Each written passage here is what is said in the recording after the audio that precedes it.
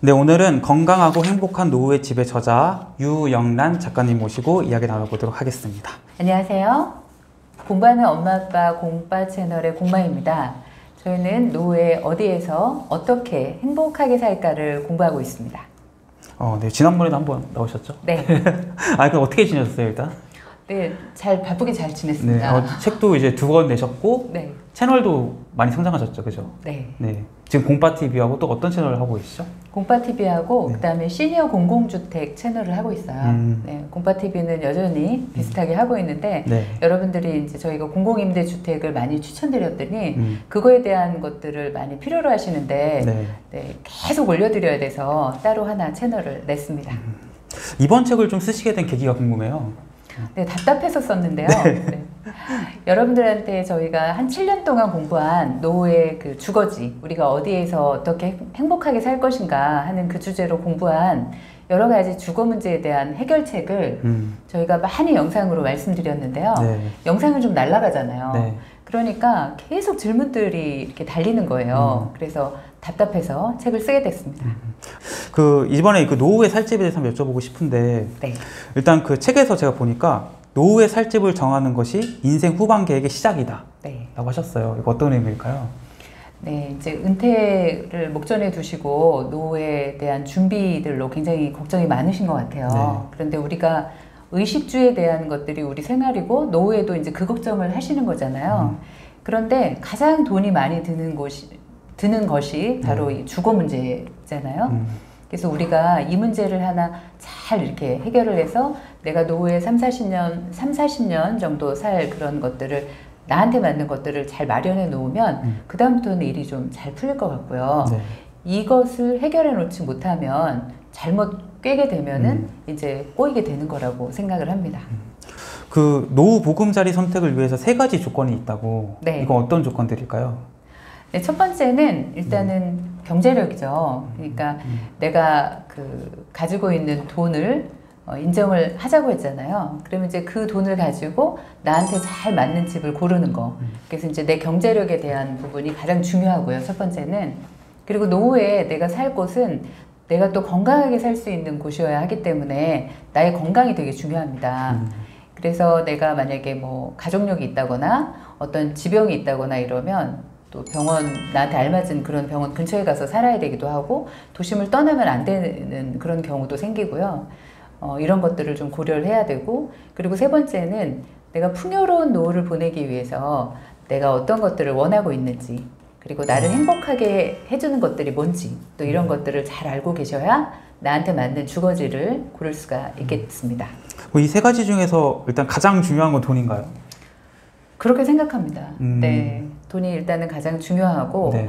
이게 돈이 많으신 분들은 좀 써야 되잖아요. 네. 근데 이제 잘 쓰시는 것들을 잘 못해요. 음. 그동안 너무 그 우리 시니어 세대들이 아끼고 이렇게 저축하고 모으고 막 이런 음. 것에 굉장한 그 힘을 가지고 계시고 음. 내가 많이 모았어도 이것을 나를 위해서 그리고 나의 소중한 사람들을 위해서 잘 쓰는 법들을 모르시는 것 같아요. 그래서 일단은 경제력이 가장 중요하고 네. 그것을 인정하고 어떻게 잘 쓸 것인가 음. 네, 이게 가장 중요하다고 생각합니다. 그럼 이제 노후의 살집을 우리가 언제부터 좀 준비하는 게 좋을까요? 네.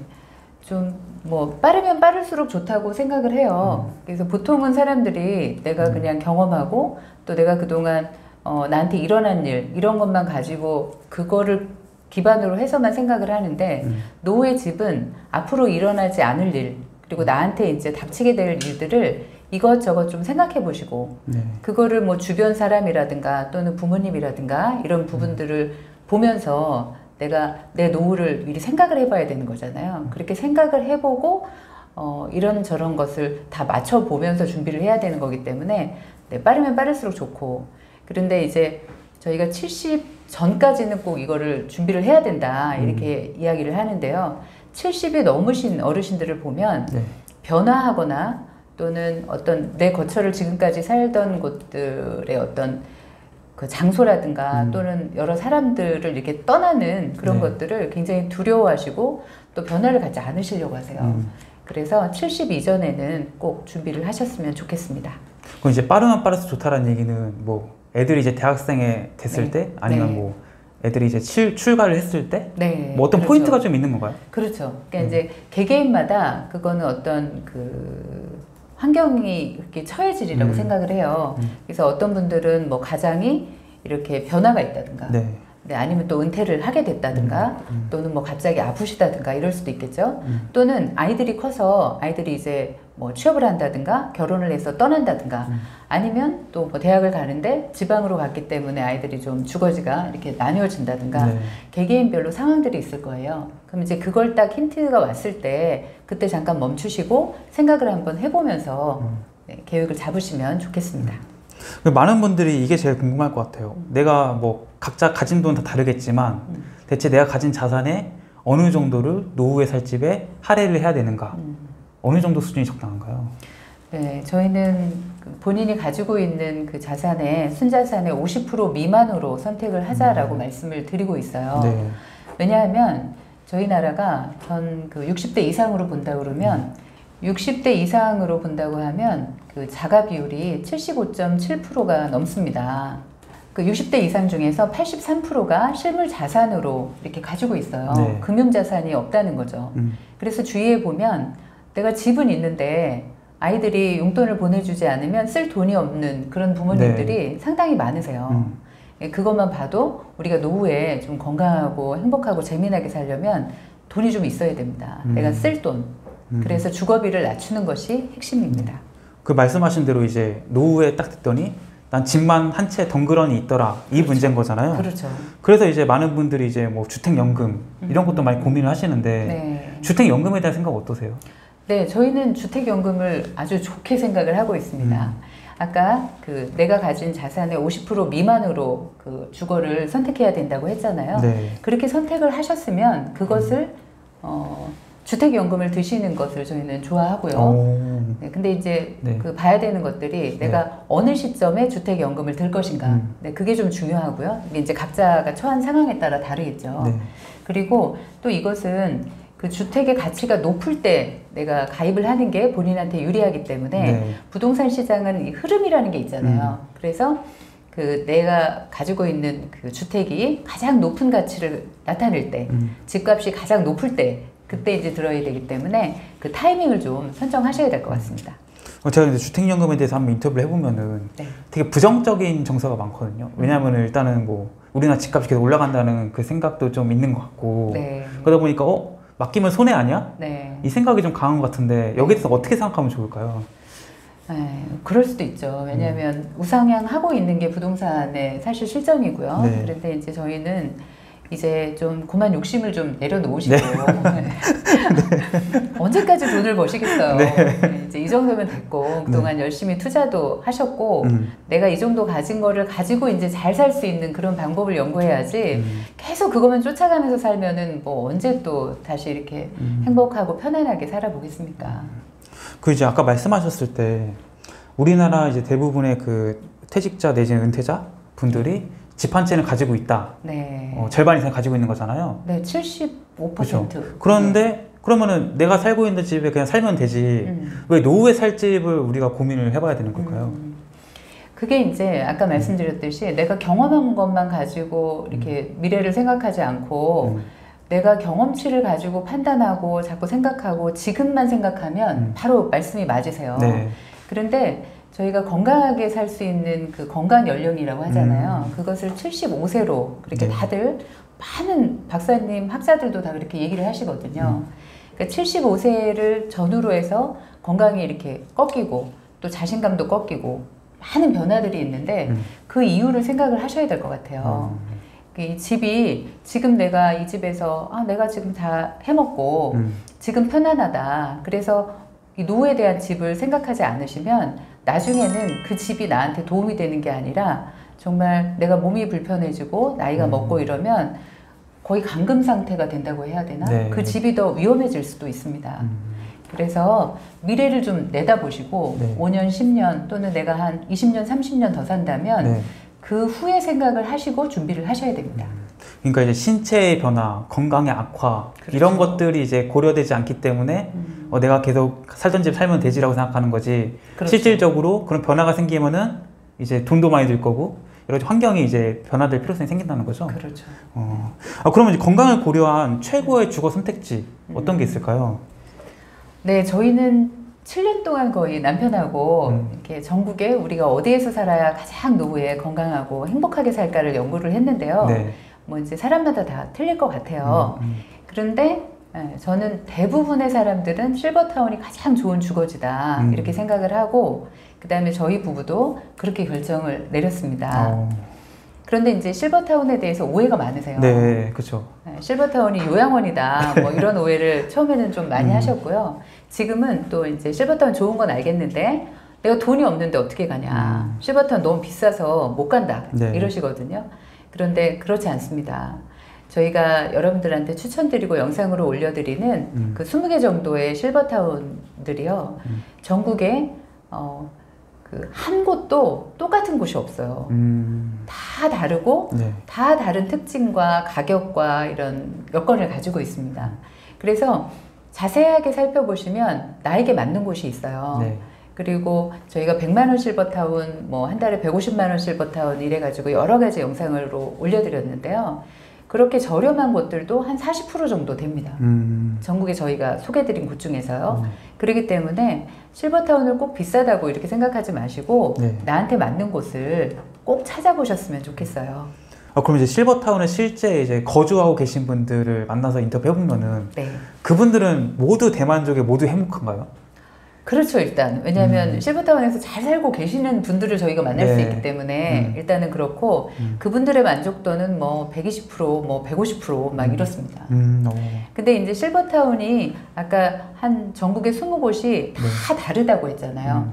그래서 어떤 분들은 오셔서 사시다가 아 나한테 맞지 않아 나는 실버타운이 아 나한테 안 맞아 막 음. 이러고 떠나가시는 분들도 있으시겠죠 네. 근데 이제 그분들은 나한테 맞지 않는 곳을 찾아가신 거라고 저희는 생각이 돼요 왜냐하면 그 20곳이 다 다르기 때문에 음, 네, 그래서 이제 그런 분들도 이야기로만 들었지 저희가 그분들은 어떻게 만날 기회가 없더라고요 네. 네, 그런 분들도 좀 이렇게 인터뷰 좀 해달라고 섭외가 왔으면 좋겠어요 음, 네. 그럼 실버타운에 살고 계신 분들은 실버타운을 뭐라고 표현하세요? 어, 노후에 내가 사는 집, 뭐 음. 나의 집 음. 이렇게 말씀을 내 집, 하세요. 내 집이라고? 네, 내 집이다. 내가 죽을 음. 때까지 살 곳이다. 이래서 그분들이 왜 그동안 뭐 예쁘게 가꿨던 이런 네. 화분이라든가 자기가 아끼는 그림 음. 또는 뭐 어디서 이렇게 뭐 수집하고 있던 이런 예쁜 돌들 막 이런 것들을 음. 실버타운에 다 장식을 해놓으세요. 음. 그래서 제가 아니 집에 두시지 이것들을 왜 이렇게 식당에 갖다 놓으시고 네. 복도에 갖다 놓으시고 이렇게 소파 있는 데 갖다 놓으시고 음. 이러셨어요. 이거 누가 가져가면 어떡해요? 막 네. 이렇게 말씀드리면 여기 지금 다 내 집인데 음. 어, 이거 뭐 여기 놓나 내 방에 놓나 어, 네. 좋은 거 우리 같이 봐야지 다 음. 이렇게 말씀하시고 다 본인들이 이제는 죽을 때까지 살 집이라고 이렇게 생각을 하시고 네. 표현하십니다. 아, 그럼 실버타운이 이제 뭐가 그렇게 좋은 거예요? 네, 궁금하시죠? 네. 안 가보신 모르죠. 네. 네, 실버타운을 실제로 가보면 네. 이제 어르신들이 어, 내 집이다 이렇게 생각하시는 게 뭐냐면 음. 일단은 내가 그동안 밥하기 힘들었는데 나한테 그 건강에 좋은 그런 음. 새끼 식사가 제 시간에 딱 맞춰서 이렇게 준비가 되는 거예요. 음. 그게 가장 크죠. 네, 그리고 두 번째는 내가 어디 아플 때 네. 내가 자식한테 연락하는 것보다 훨씬 더 빨리 이런 여러 직원들이 나를 위해서 대기를 하고 있거든요. 어, 내가 오늘 컨디션이 좀 안 좋다. 네. 그러면은 아나 밥 먹고 식당 옆에 가서 나 오늘 혈압 좀 재야겠어. 음. 어나 오늘 뒷골이 무거워. 음. 이거 왜 그러지? 어떻게 해야 되지? 이러면 바로 물리치료실에 가서 뭐 음. 이렇게 또 받으실 수 있도록 도와드리고 네. 약도 처방해드리고 음. 그리고 아, 건강검진을 해봐야 되겠다. 그러면 또 큰 병원하고 연결해드리고 네. 이렇게 나의 건강을 계속해서 세심하게 체크할 수 있는 그런 그 관리해주는 그 직원들이 상시 대기를 하고 있어요. 음. 그런 게 이제 또 큰 그런 장점이고요. 네. 또두 번째는 미리 아프기 전에 내가 운동을 할 수 있고 내가 또 사우나를 할 수 있고 음. 이렇게 여러 가지 나의 컨디션을 조절해 줄 수 있는 음. 그런 프로그램들 또는 시설들이 다 갖춰져 있습니다. 네. 이런 것들도 아주 이점이죠. 음. 그리고 내가 또 심심할 틈이 없으시다고 표현을 하시는데 네. 너무 바쁘세요. 어. 근데 저희가 인터뷰를 해보면 인터뷰 하다가 어나 시간 됐어 나 좀 가야 돼 가야 된다. 막 이러시고 예. 그게 뭐냐면 그분들이 네. 하루에 아침에 일어나서 저녁에 잠자리에 드실 때까지 그 루틴으로 하시는 여러 가지 본인이 하시는 프로그램들이 다 세팅이 돼 있으세요. 음. 그래서 어느 요일은 내가 영화 봐야지, 네. 뭐 어느 요일은 오늘 어떤 강사가 와서 무슨 핸드폰 음. 이렇게 사용하는 법을 가르쳐 주기로 했어. 뭐 그래서 거기 강의 가시고 음. 또 오늘은 동요반, 뭐, 뭐 클래식 뭐 무슨 반. 네. 이래서 여러 프로그램들을 동호회 활동을 마치 하는 것처럼 내 동호회들이 다 있어요. 네. 그 친구들이 다 있는 거죠 옆에. 어. 같이 놀 친구들이 있죠. 음. 이러고 또 뭐 여행을 간다. 네. 그러면 그 관광버스가 딱 앞에 대기하고 있어요. 네. 그러면 인천공항까지 딱 가서 거기서 또 오. 비행기 타고 여행하시고 와서 네. 또 집까지 딱 데려다 주잖아요.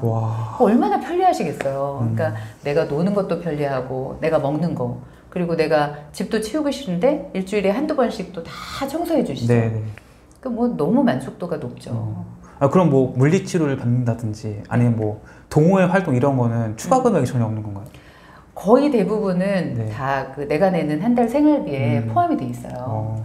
그런데 이제 뭐 과외로 내가 네. 쓰는 전기라든가 네. 내가 쓰는 핸드폰비 뭐 이런 아. 것들은 이제 내가 추가로 내는 거죠.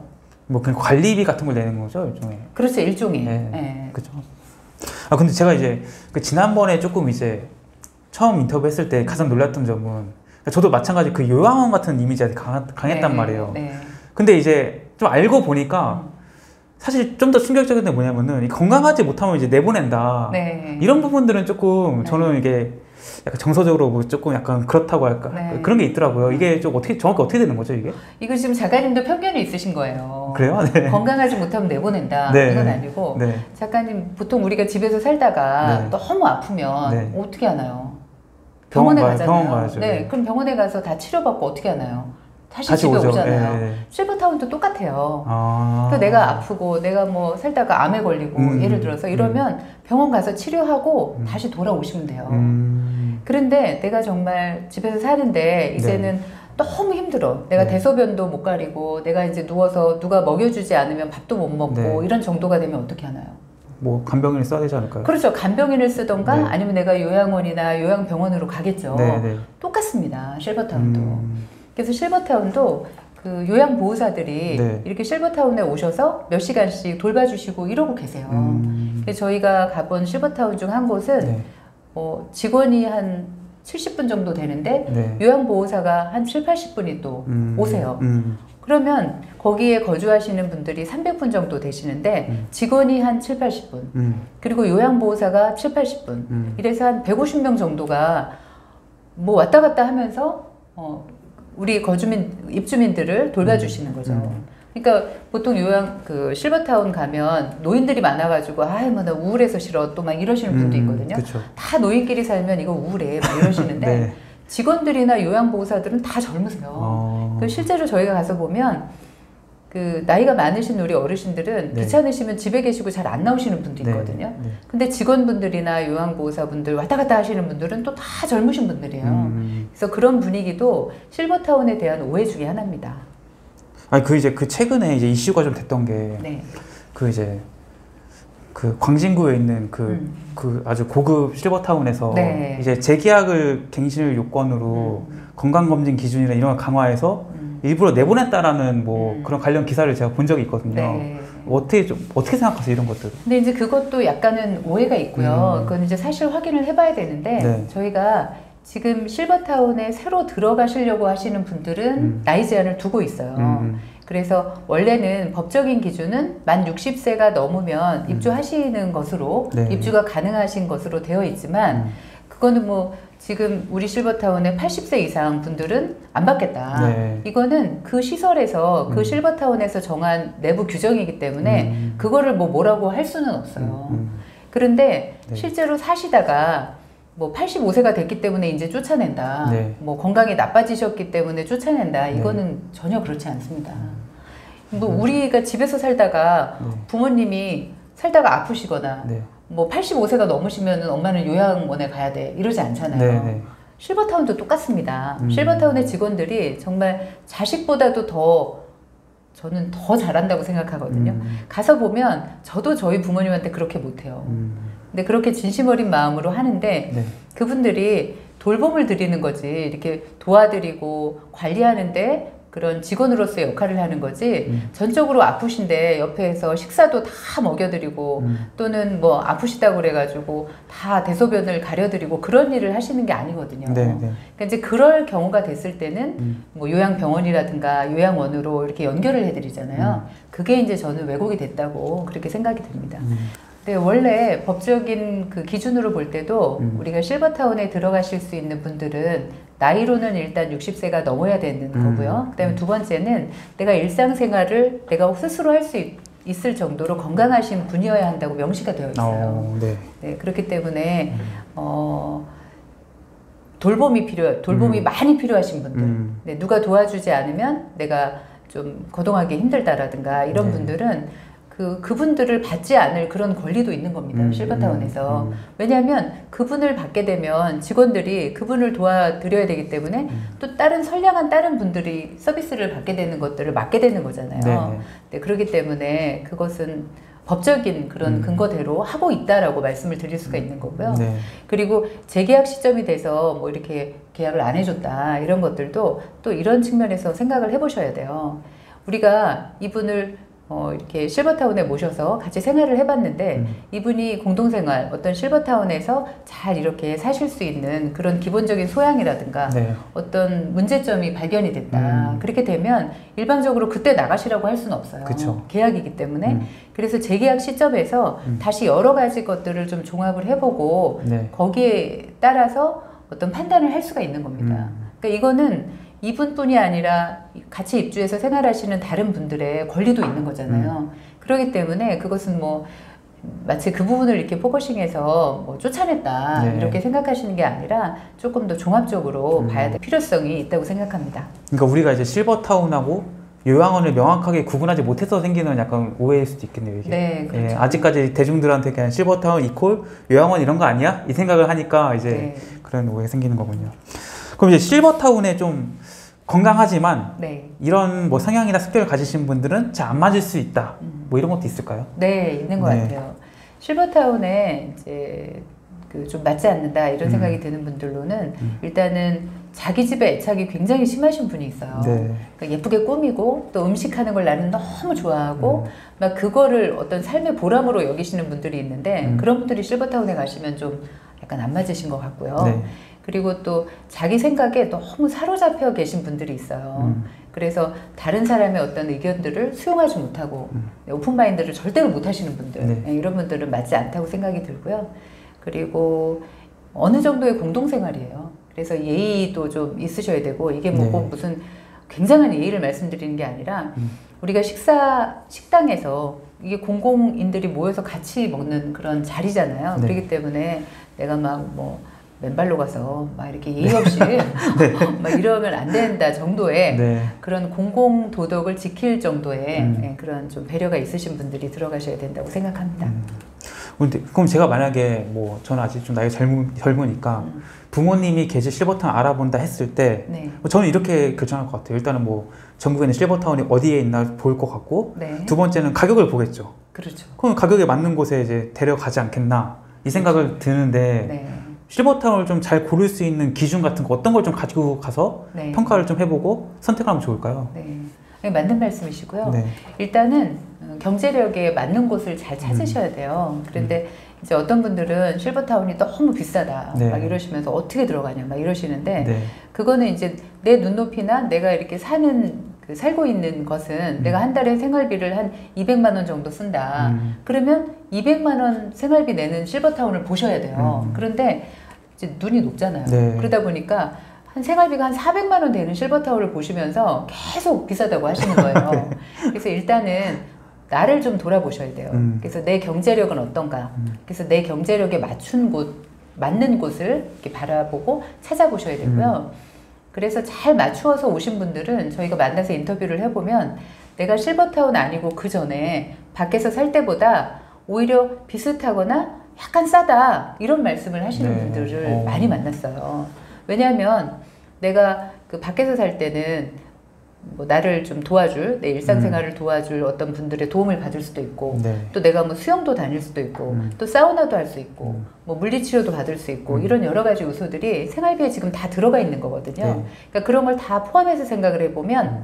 오히려 비슷하다 음. 아니면 약간 싸다 네. 이 말이 맞는 거죠. 음. 그 다음에 또 뭘 봐야 되냐면 어, 내가 어떤 종교를 갖고 있어요. 음. 그러면 그 종교랑 맞는 곳으로 가셔야 돼 행복하겠죠. 아.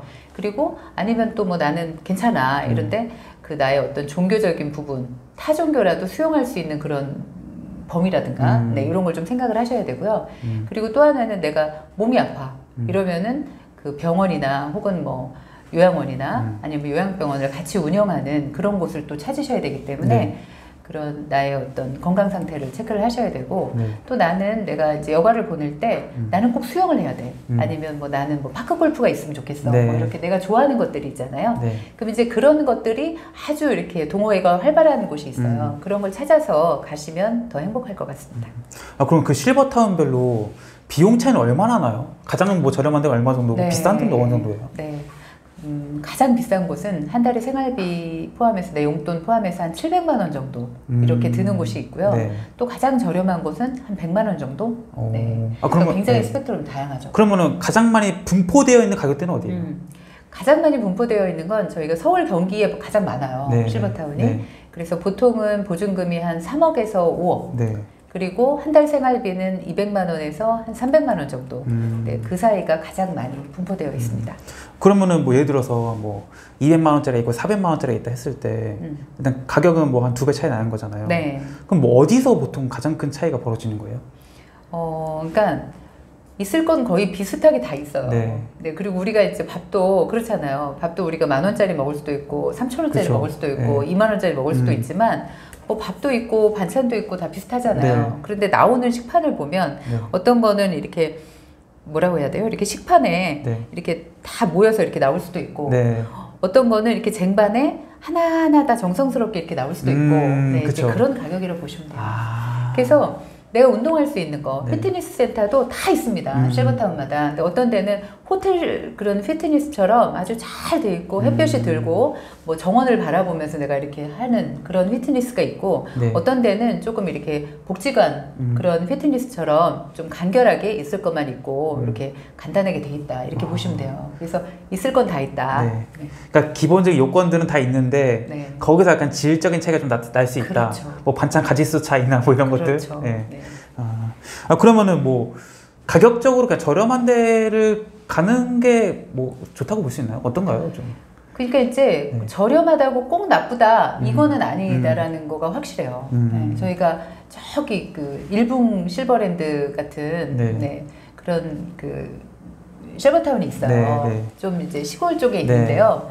거기에 가서 밥을 먹어봤어요. 네. 근데 정말 너무 맛있는 거예요. 음. 그리고 정성스럽고. 음. 그런데 그곳이 한 달에 100만 원이에요. 오, 네. 근데 이제 물론 뭐 이렇게 잘 나오진 않지만 네. 내가 식판에 먹는 거예요. 그렇지만 저는 너무 맛있고 음. 건강식이라고 생각했거든요. 네. 그러니까 이제 뭐꼭 저렴하다고 해서 음. 나쁘다 이거는 음. 편견이라고 생각합니다. 그러니까 이제 뭐 지역적인 차이도 있을 거고 그렇죠. 그 이런 여러 여러 차이 있는 거죠. 그럼요. 예. 일단 땅값이 다르잖아요. 네, 네.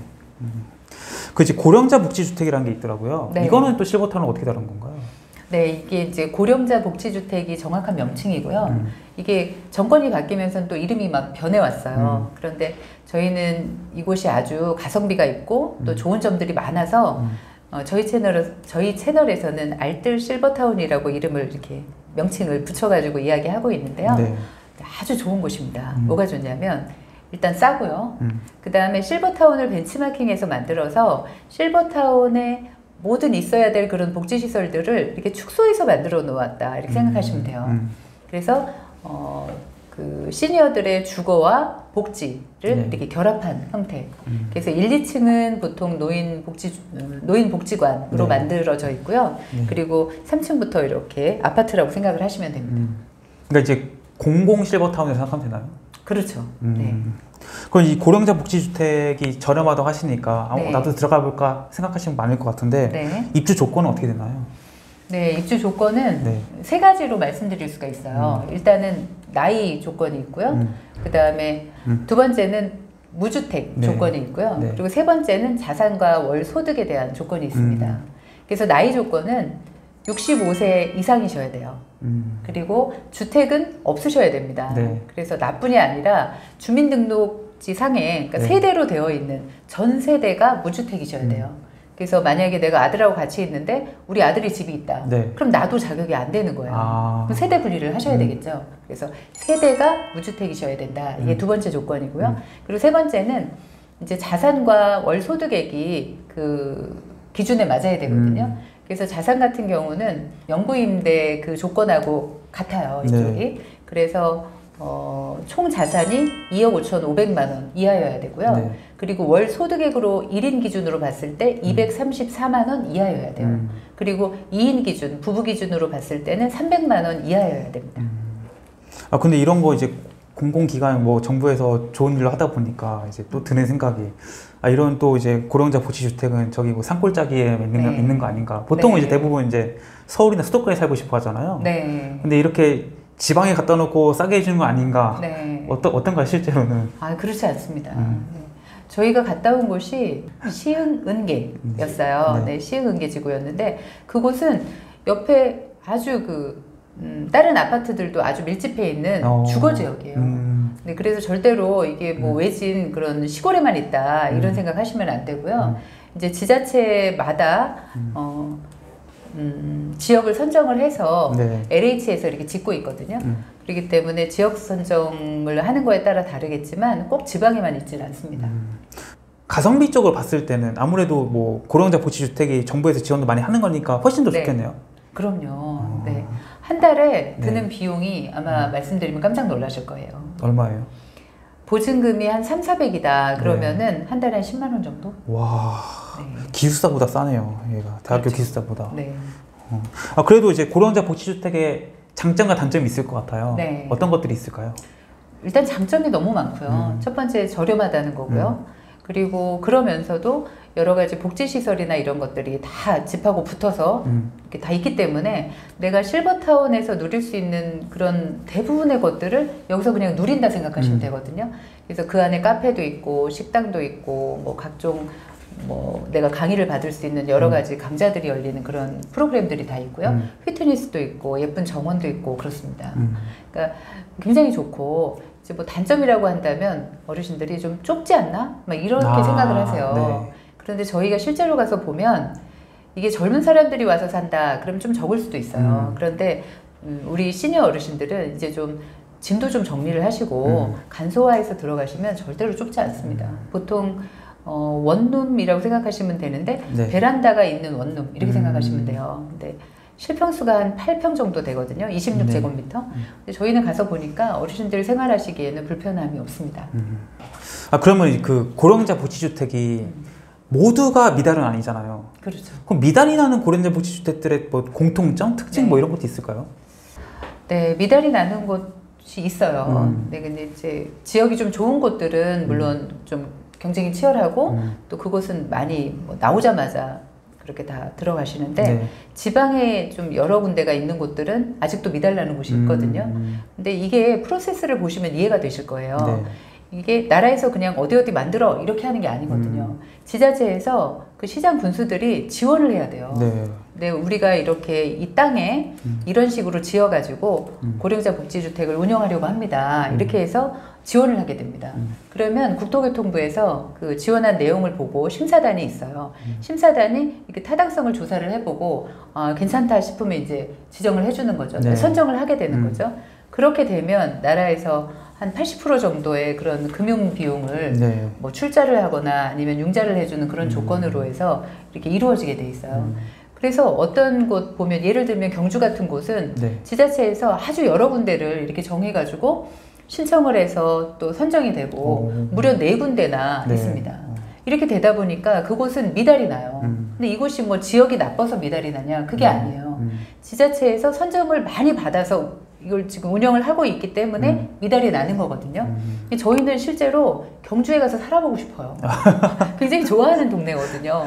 네, 그곳이 안 좋아서 미달이 난다 이렇게 생각하시면 안 되고요. 음. 심지어 또 다른 어떤 지방 같은 지자체를 보면 네. 한 번도 신청을 안한 곳도 있어요. 음. 그래서 저희가 댓글로도 어떤 분들이 네. 나 그렇게 좋은 고령자 복지주택에 들어가고 싶은데 음. 왜 우리 지역에는 없냐? 내가 음. 사는 지역에는 좀 알아봐 달라. 아니면 공파님이 좀 얘기 좀 해달라. 막 네, 이러시거든요. 음. 이게 저희가 할 수 있는 일이 아니에요. 음. 그래서 내가 뽑은 시장 군수 네. 그 사람들이 나를 위해서 일을 하는가 이걸 좀 보셔야 돼요. 음. 그러니까 이런 거네요, 약간.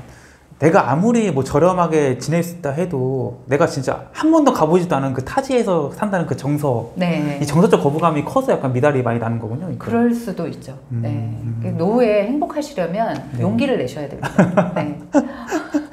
제가 실버타운에서 네. 만나 뵈신 모든 분들은 네. 정말 행복하게 살고 계신데 그분들은 네. 용기 있는 분들이셨어요. 아, 그럼 고령자 부시주택은 내가 한번 뭐 입주를 하게 됐어요. 네.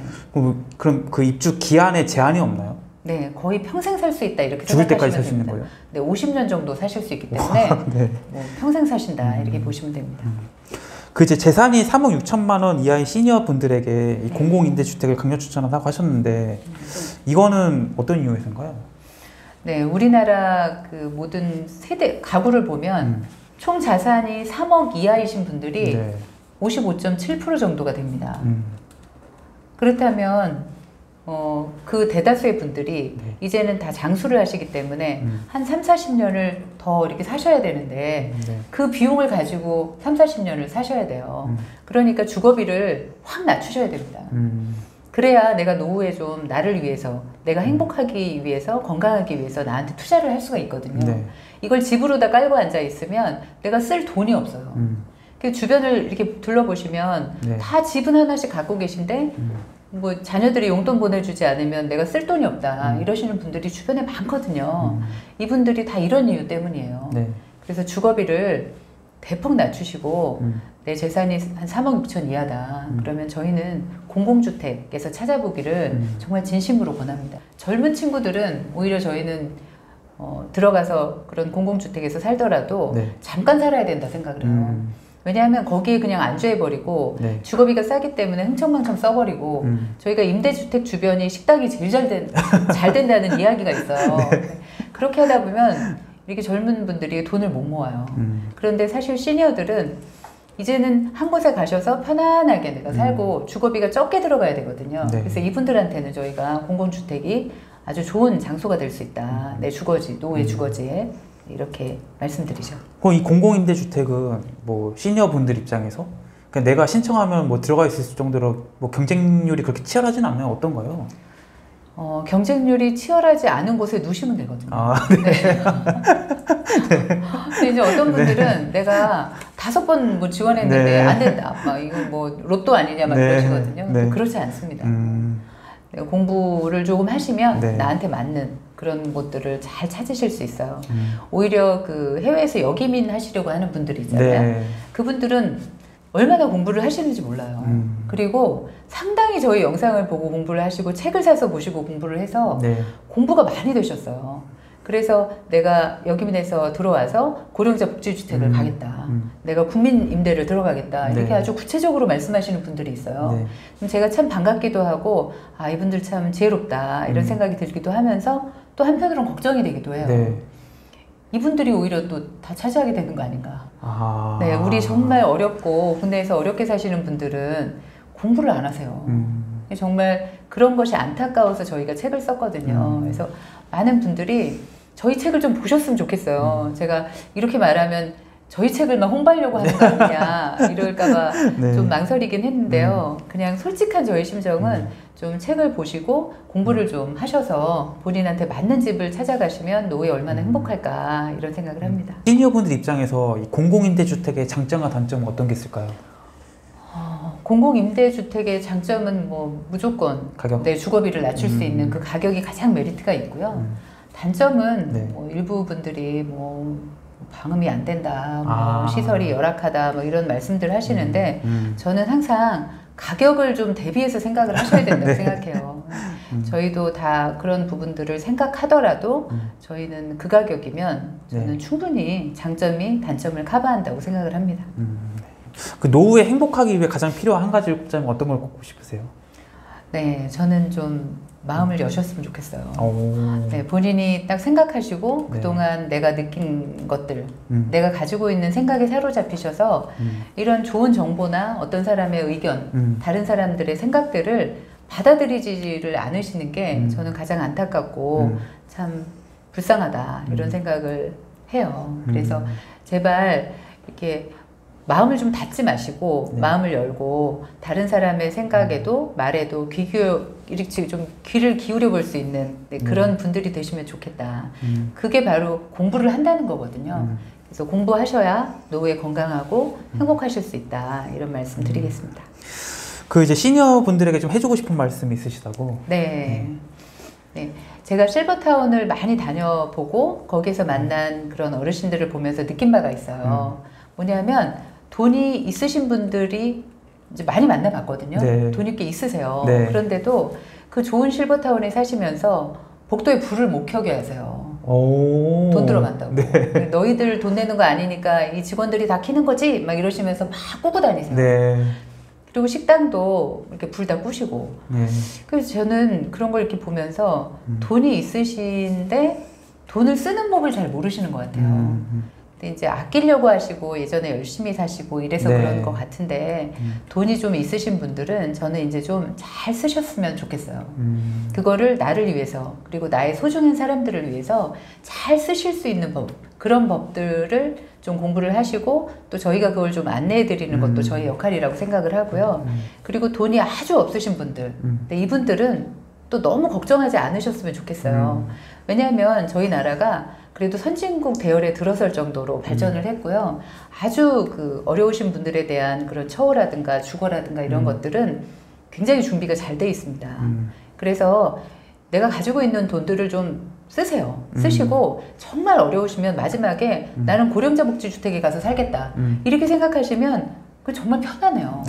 네. 그 제가 아는 어떤 분도 굉장히 네. 어려우셨는데 네. 저희가 이제 자꾸 얘기해드리고 이런 정보를 드리고 하니까 음. 마음이 정말 편안해진다고 하시더라고요. 음. 그렇게 사셔도 됩니다. 음. 그걸 좀 믿어주시고요. 네. 이제 가장 저희는 걱정이라고 생각하는 게 내가 가진 돈이 애매해요. 음. 애매한데 공부를 안 하세요. 음. 그리고는 그냥 편견에 사로잡히셔서 이렇게 생활하시는 분들이 저는 가장 위험하다고 봅니다. 음. 그래서 이런 분들은 공부를 좀 하시고 꼭 네. 마음을 여셔야 됩니다. 예를 들어서 뭐 아까 뭐 실버타운에서 한 달에 뭐 많이 들어가는 데가 한 700 정도 말씀하셨잖아요. 네. 뭐 내가 돈이 좀 있어 700을 그냥 썼어. 실버타운에 700씩 납부를 해요. 네. 뭐 이런 상황에서 뭐 돈을 잘 쓰는 방법을 말씀하셨으니까 네. 추가적으로 돈을 더 써야 된다면 어디에 쓰는 게 좋을까요? 음, 네. 네, 그것도 저희가 영상으로 준비했어요. 네, 네. 일단은 저는 돈을 어디에 써야 되냐. 음. 네, 이제는 좀 나의 건강을 생각하는 음. 네, 그런 거. 네. 그래서 같은 걸 먹더라도 네. 좀 좋은 재료를 가지고 이렇게 어, 소식하면서 네. 이렇게 먹을 수 있는 그래서 나에 대해서 쓰셔야 되고 음. 또는 그 내가 이제 또 여가 생활을 하거나 또는 내가 어떤 경험을 하거나 여행을 가거나 이런 것들에 가치를 좀 생각하시고 음. 그 부분에 좀 투자를 하셨으면 좋겠어요. 음. 그리고 우리가 또 왜 지구에 왔나 네. 그리고 나라는 내가 이렇게 인생을 산다는 게 뭘까 또 나는 여기 왜 왔을까 음. 이런 거 있잖아요 음. 어떤 음, 나 자신의 어떤 그 본연으로 돌아가야 네. 된다고 해야 되나요 네. 그런 시간도 또 그런 거에 대한 생각도 이렇게 하시면서 음. 명상 하는 데에도 좀 돈을 쓰셨으면 좋겠어요 명상. 네 오, 네. 그래서 종교를 가지신 분들은 뭐 그런 수련 단체에 가셔서 음. 그렇게 돈을 쓰셔도 되고 안 가지신 분들은 명상 이런 프로그램 같은데 참여해 보시는 것도 좋을 것 같고요. 네. 그리고 이렇게 다 좋은 것들을 음. 나한테만 쓰지 말고 내가 가장 소중한 사람들, 음. 나한테 가장 소중한 사람들 누구 있어요? 내 배우자라든가 그렇죠. 가족들. 또 또는 나의 부모님. 음. 자녀보다는 자녀는 아직 시간이 많습니다. 그래서 우리 부모님들 이제 네. 얼마 안 남으셨잖아요. 네. 그래서 이런 소중한 경험들, 음. 또 건강한 음식 이런 것들을 음. 내- 내 가장 소중한 분들하고 같이 다 할 수 있는 그런 네. 곳에 돈을 쓰셔야 된다고 생각합니다.